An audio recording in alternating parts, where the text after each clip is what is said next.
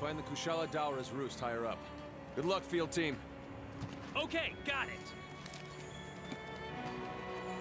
Let's start investigating. We should get going too.